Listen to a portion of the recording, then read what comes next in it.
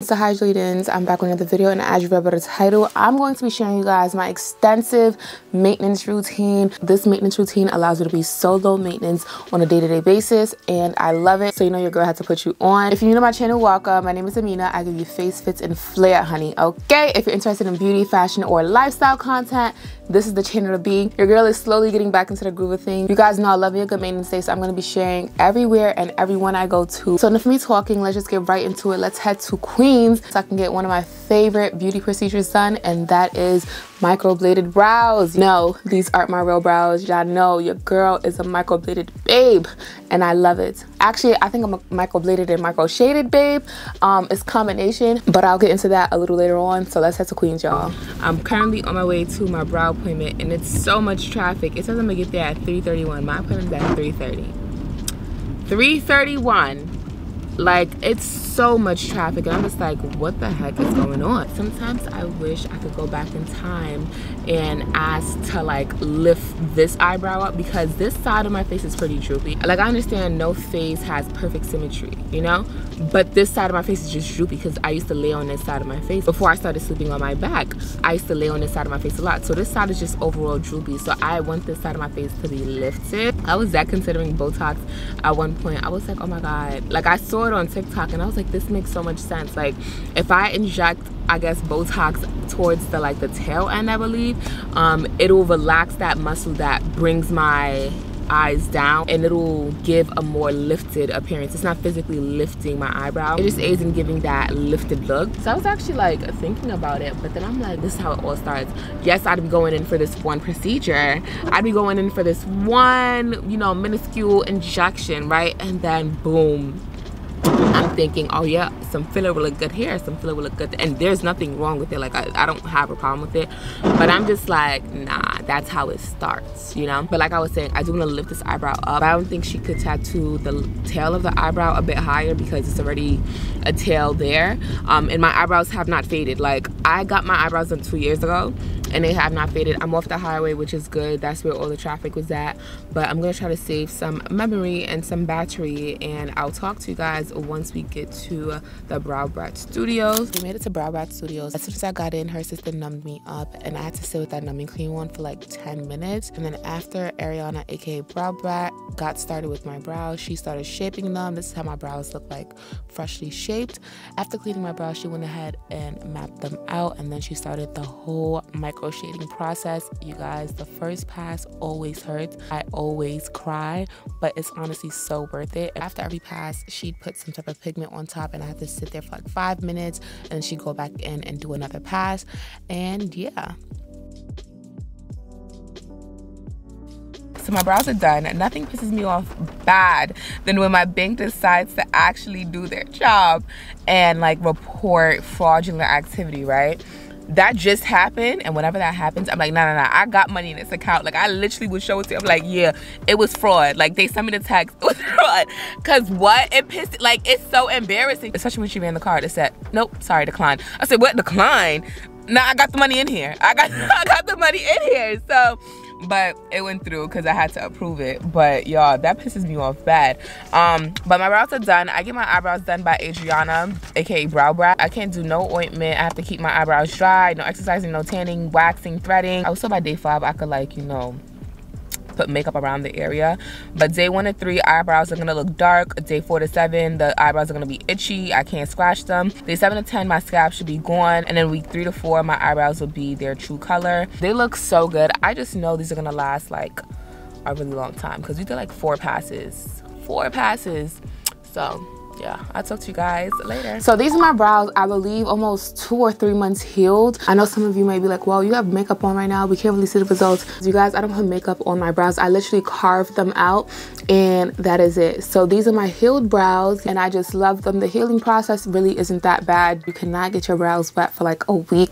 I think that's probably the most difficult thing about this healing process. But i found this little contraption on amazon. I never bought it because by the time i found out about it my healing process was already done. But basically basically it's like an eyebrow shield. You put it on your face, it can still wet your face because I'm somebody who washes their face in the shower. I cannot wash my face in a sink because I hate water dripping all over me. I don't like water on the sink, water going down my arms, none of it. So I have to wash my face in the shower. So that was a hard week. Not being able to wash my face in the shower, but your girl did it. I had to wash my face in the sink. It wasn't too, too bad. I think that's probably the hardest thing about the healing process. You don't really see the final results until two or three weeks after you get the procedure done. So I feel like by the end of week two, I was really good. All the peeling had finished. And honestly, I didn't peel that bad this round. The first time I got my brows microbladed, I peeled like crazy. Like it was very itchy. This go around, it really wasn't that bad.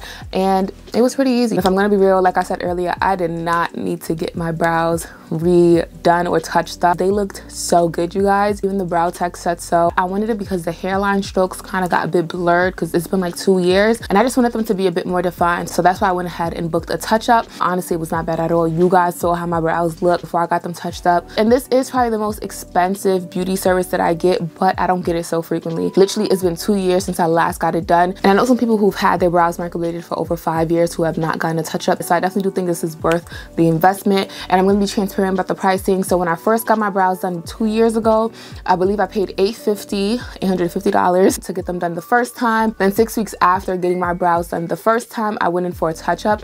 Um, I didn't need a touch up, but I think that's like the process you have to go in. For. You don't have to, but she recommends going in for a touch up six weeks after the initial procedure. So I paid 150 for that touch up. So that's what a thousand on my brows but I honestly feel like it was so worth it. Because when I tell you I did not have to worry about my brows. And back then I used to get lash extensions so straight off the wake up I looked good. I was good to go for the day you feel me? She doesn't have a specific price for two year touch-ups. I think the latest that she goes to is like seven to 12 months. So this touch-up was 550 in total I spent a little over 1500 on my brows. Now that is a lot of money. I'm not even gonna sit here and act like it's not. It is a lot of money. One I'm paying for good work. I'm paying for convenience. I'm paying for longevity. And it was worth it to me. You know what I mean? Like I'm a strong believer in investing in yourself and this is something that I did to invest in myself. I'll probably insert some footage of my brows before, but I really had no brows, y'all. I mean, I had some brow hairs, but like no shape. It didn't matter who I went to to get my brows threaded, tinted, waxed, the shape just was not it for me so i went ahead and got my semi-permanent brows and i feel like they fake gonna be permanent no shape because i know people who've had microbladed brows for years like years so i feel like it's gonna last a pretty long time and i might not need another touch up for like three, five years, if that's the case. So that's the tea about the brows. After getting my brows done, my real favorite, favorite procedure to get done is my laser hair removal. Oh my God, you guys know I swear by laser hair removal. I know I love me some Lisa. I be going to Yonkers every I don't know how many months at this point, eight months. I've been getting laser hair removal done for three years now. I started in December of 2020, is January of 2024. And I just love it. I love my results. I swear by it. Never been sponsored. I've never had a free laser session, nothing. I literally put you guys onto Lisa because I just love Lisa. I, I, I can't recommend anybody else. I went and got my laser hair removal done and it's been like three months at this point. I've been holding on to this footage for that long. Yes. And when I went to go get my touch up done, I think I didn't go for seven months prior to that. So right now where I'm at my laser hair removal journey is I go when I need to. I do not have an appointment book with my laser tech. I go and I'm like, okay, I need a touch up let me go. I don't grow any hair. I grow peach fuzz and I love it. Laser has been the best investment. And first of all, it's not for me personally. I feel like it's such an amazing price point. I pay $50 per section. So my arms are $50 and Brazilian is $50. So I pay $100 every five to six months. Right now it's probably like every year for no hair. Like, come on, come on. I'm really putting you guys on the game. I love Lisa. So enough of me talking. Let's head to Yonkers, get these hair follicles zapped away. And yeah. So before my laser appointment, I do have to shave and I want to show you guys how my underarms look like. As you guys can see, it's barely any hair there. The hair that you see is like peach fuzz and it's very fine and light and the laser can't catch it. I use a regular men's razor and I actually shaved with Dr. Bronner's peppermint soap. I really use this for everything and it's actually hilarious. But I feel like I always get a proper clean shave using these two items. So if it ain't broke, don't fix it. This is how much I was able to shave off and this is how my underarms look like right before my appointment. So let's head to Lisa right now I'm headed to uh, my laser appointment. You guys know I've been doing laser now for almost three years and my results literally speak for themselves. I love laser so much and I'm honestly just at the coming when I need to phase. I literally didn't have an appointment because I didn't know when was the next time I was going to need my laser done. I think the last time I got it done was in April think I got my laser done last in April. Today is November.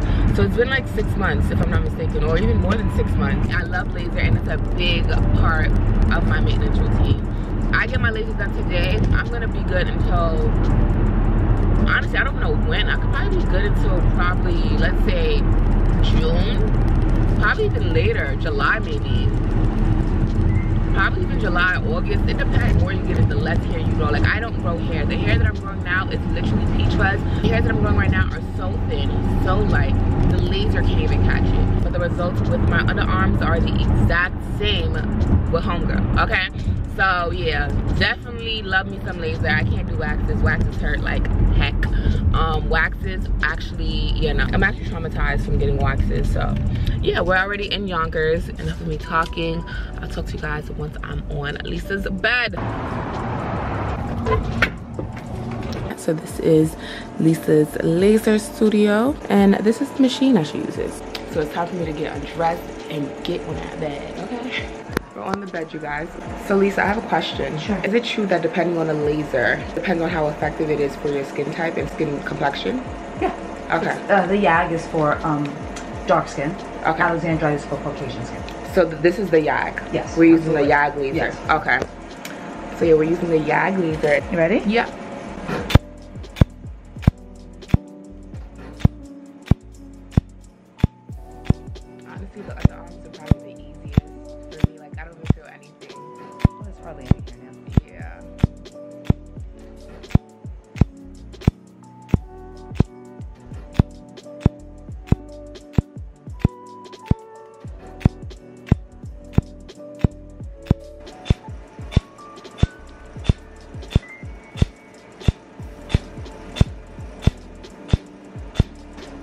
When do you think I should see you next?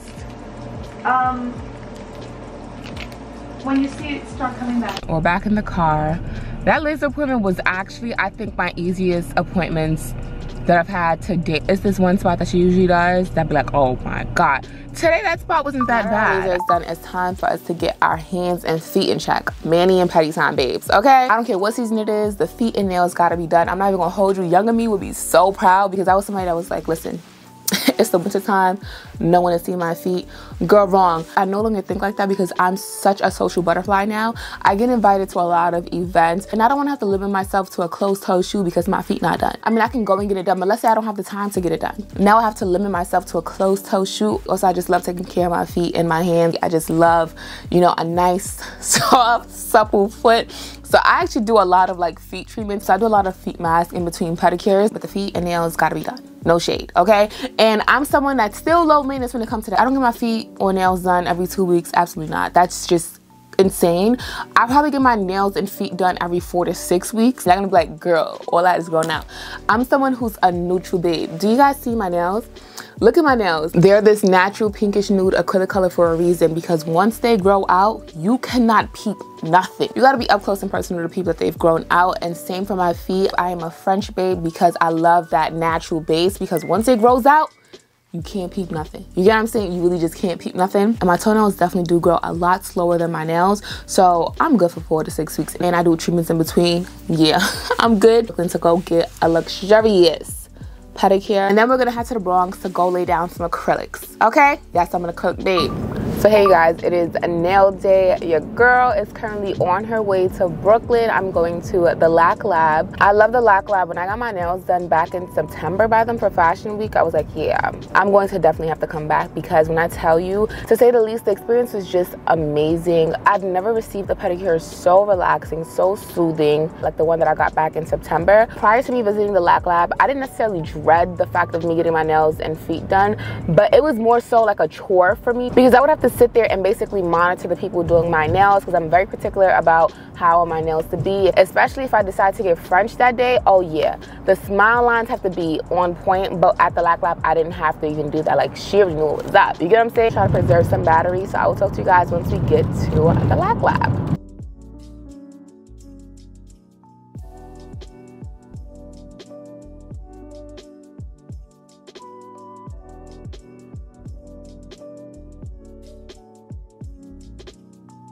Popping in again. I made it to the Lac Lab and I just love the aesthetics of this salon. My nail tech for the day was Soleil, loved her vibe and she got me together, okay? So she removed my previous gel set, gave me a good cleaning and I love the Lac Lab's coffee scrub. My feet feel so smooth and soft after.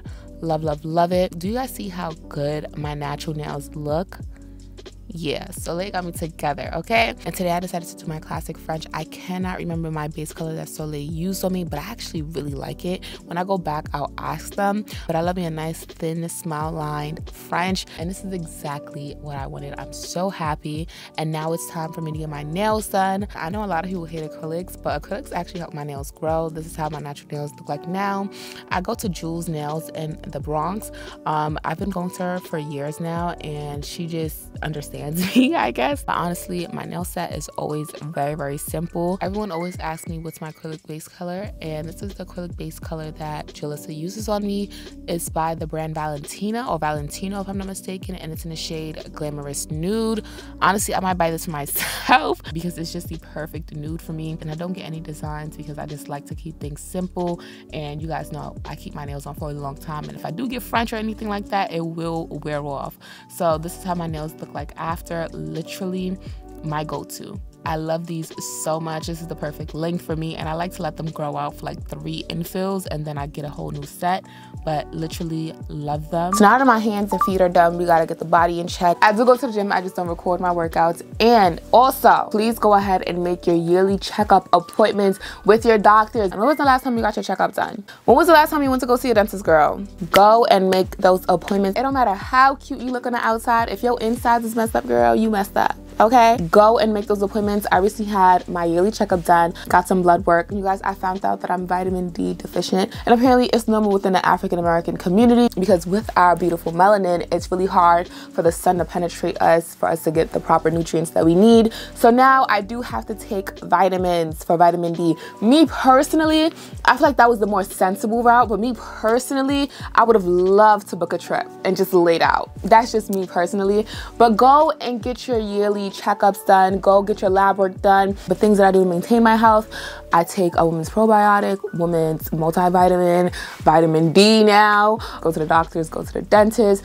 I work out, just don't vlog it for you guys. And your girl also invests in massages. I can't be 23, 24 and I'm having lower back pain. What's the issue with that? Why does bending certain ways hurt me?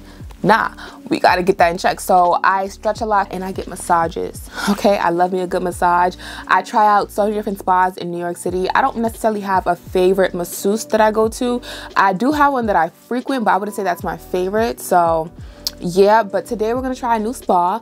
Um, we're gonna head to manhattan to go have a spa day. Your girl loves her spa day. I just love me a nice relaxing self-care day. So let's head to manhattan. Let's get our self-care on. Okay girl? It's about a few days later you guys. My eyebrows are healing pretty pretty good. Nails are still intact. As you guys can see they are growing out a bit but you can't even peep that because i love getting a natural colored set that's similar to my nail color because when it does grow out don't clock that. But today we're gonna go and give our body some tlc i was invited by the spa club in New York City to go and visit the spa. And you know what's crazy? I already go to the spa once a month. It's literally already in my maintenance routine, but I love a good spa day, a good massage. It literally just resets my whole body for the whole month and I'd be good okay like i don't have no tension. My back isn't hurting. Nothing. I'm too young for my back to be hurting too. So i love a good spa day. I love a good sauna. I love all of that. I'm really excited to be bringing you guys along with me. Whenever i go to the spa i like to wear something very very cozy and casual. Right now i have on like a black one piece from naked wardrobe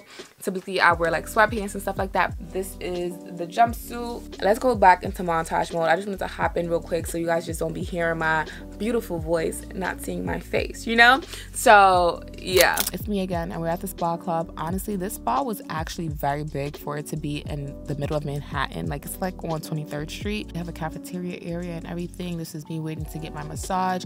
I got a deep tissue massage this day and he put in work. My body was loose okay my body felt good up okay so now that we have the body in check it's not tight stiff up nothing let's go and get our hair done i'm someone who loves a low maintenance hairstyle and boho knotless is probably like my favorite go-to low maintenance hairstyle. Literally my hair is like three weeks old and it still looks good and I get to be very versatile on how I style my hair. Let's up to Harlem, my home, to get our hair done, okay? Follow me on my other platforms. You already know I go to Diva Hair Salon to get my knotless braids. They went viral and everything, but I'm getting some boho knotless braids. If you remember, I shaved my head completely bald like two years ago and this is the growth now. This day Mimi did my hair, but everyone in the salon is really, really good. I was just showing them exactly how I wanted my hair And you guys, please screenshot this. This is the best bulk hair to use if you're trying to do boho knotless braids. I highly recommend. I've tried multiple brands and they've just tangled up on me and I hated them.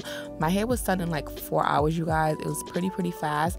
And this was the final result. I love, love, love my hair. And so many of you guys love my hair as well. These braids are my go-to, okay? Like they eat and they just make me look so pretty.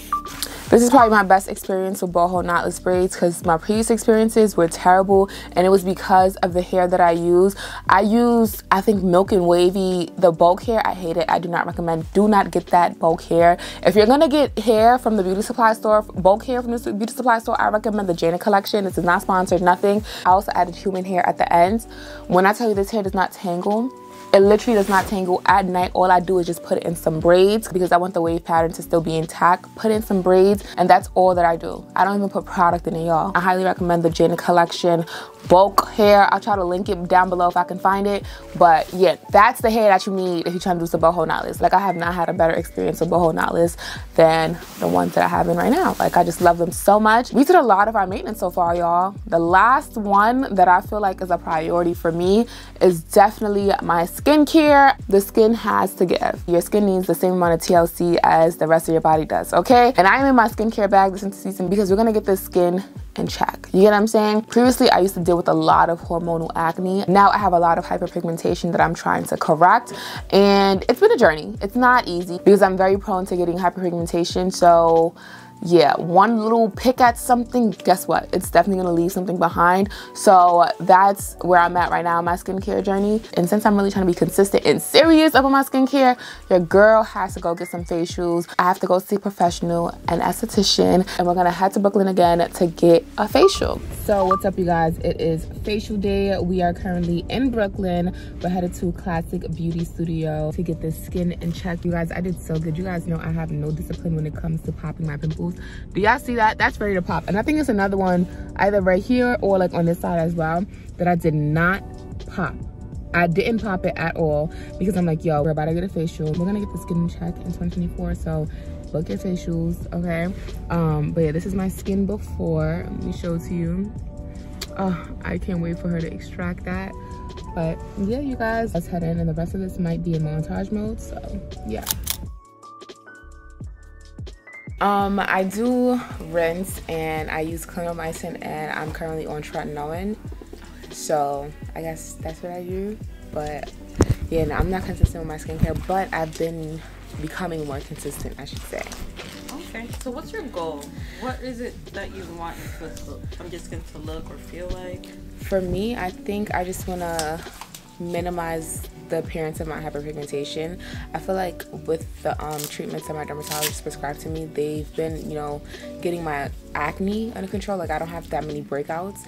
Um, I typically only get them when I'm, you know, off my cycle or during my cycle.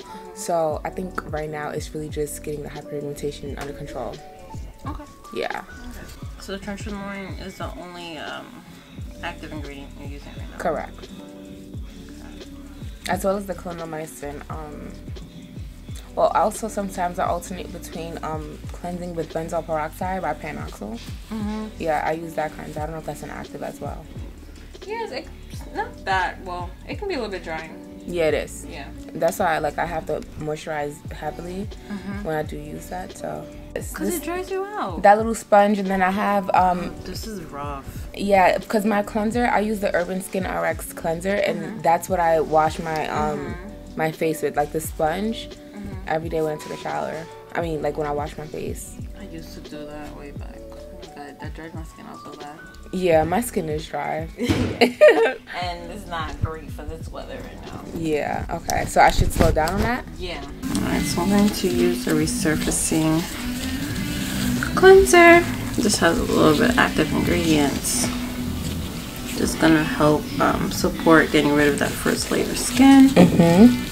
Wow, that's crazy. See, I, I can't do like liquid lotions, but I love being moisturized and I layer, the, like I feel like the Palmer's Cocoa Butter moisturizes me so well. As soon as I put it on, like any dryness that I have is gone. And then I do layer with like a body oil sometimes depending, but mm -hmm. it's not mm-hmm. even necessarily, it's like I don't need to. No, with Palmer's. Yeah. Mm -hmm. But you know, I can't use like lotions, liquid lotions at all. No. I don't like. I, if I'm gonna use it, I have to mix it with my Palmer's. Like my, You like thick consistency. I like thick. It has to be Yeah. very thick. Yeah, for Okay. sure. You're definitely a Vaseline girl then. Yeah. no, but you, you know what's crazy? I don't I don't use it on my face anymore. But I used to um like I even have a Vaseline right now. Like I've been using I use Vaseline today. Oh my god. But yeah, I love it. I'm done. I love it. I feel like it's the one it's the only like those are the only two products that really keep my skin moisturized. Well, that's good for occlusion. Mhm. Do you like have eczema? Like Yeah, I have eczema. okay. Now it makes sense. Yeah, my Yes. I have eczema in my arms and everything. Yeah. It makes sense because that's the only way to keep like your hydration. Yeah. So, what would you recommend for my skin type? Well, I don't know if you know my skin type from just like looking at it. Like, what would you recommend for my goals when it comes to skincare? Your oily combination, but right now you're going through like dry skin because of the weather. hmm Um, for you, I would recommend um, a salicylic toner, Okay.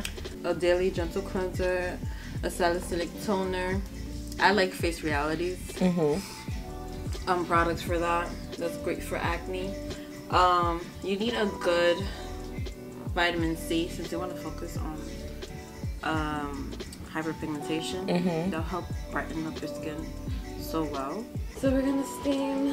Let's do 15 minutes. I'm proud of myself because typically I literally pop my pimples any single like any pop time I see a pimple I pop it.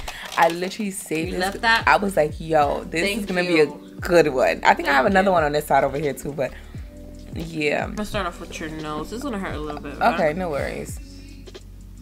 Just gonna take off all that excess. Do you wear makeup? Yes, I do. Is it pretty often? It's not. Does it show? I just asked because you know that can also affect the texture of your skin. Mm-hmm. Um, what do you wash it off with? So I double cleanse. I use the Elemis um, cleansing balm, Okay. and then I go in with the my cleanser. Okay, good. Yeah. Okay, at least you got that down pat.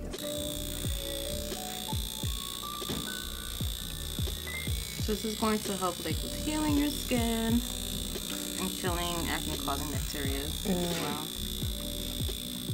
I'm just gonna drop this a little bit.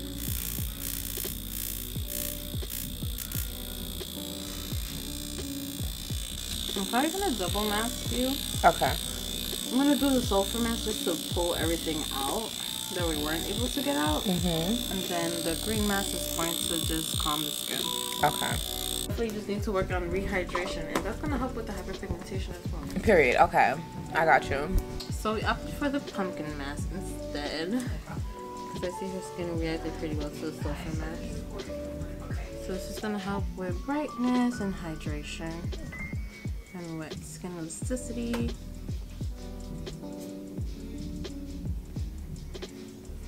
I do want you to change your exfoliant. Okay. The skin, the Urban RX, Mhm. um, it's too drying. Okay. Um, I do like this Dermalogica, like it's like a powder. The, I know what you're talking about. I definitely like that Dermalogica like um powder daily exfoliant. It's a supposedly daily exfoliant. I don't use it every day, Mm-hmm. but it makes your skin really smooth. Like you see all these little bumps here, Mhm. they'll be gone. Okay. So Dermalogica is def- definitely one of my favorite exfoliants Mm-hmm. Um, because I use a chemical exfoliant um, like this one. Like this exfoliant or like anything that's like an enzyme mask Mm-hmm. that helps get rid of that first layer of that skin. Okay. Sunscreen, I love this as a moisturizer as well, especially in the summer because it's not too heavy, Mm-hmm. but it'll get the job done. And it doesn't leave a white cast either. And it gives you this really nice shine. Okay.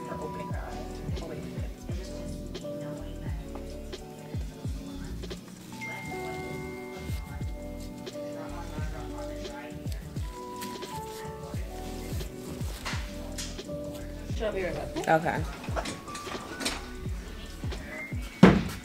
That facial was so good. I can't believe I went two years without a facial. Like that's kind of insane. And you know what's crazy? Two weeks after that, I was invited to a skincare company's headquarters and I got another facial there. My skin has been loving the extra TLC. And yeah, you guys, that is my high maintenance routine to stay low maintenance. These are the beauty procedures that I just swear by, that I love, that I feel like make a big difference, that are so convenient in my day-to-day -day life that I think you guys should try to implement in your life if you can. You can definitely do a lot of these things yourself. Probably not the microbladed brows, but hair, nails, you can do some press-ons and stuff like that. Press-ons Debbie last and then they look dumb good. You get what I'm saying? So you can do a lot of these things yourself. You do not have to spend an obscene amount of money on your maintenance routine at all. I just want to share what I do and I think a lot of people will find this video informative, especially if you're in the New York area. And yeah, you guys, that is the end of the video. I hope you guys enjoyed. I love you, Jolieden, so much and I will see you guys in my next one. Bye.